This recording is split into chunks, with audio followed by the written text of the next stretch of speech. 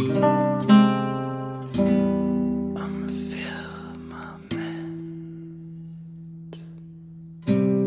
der die Welt betrachtet,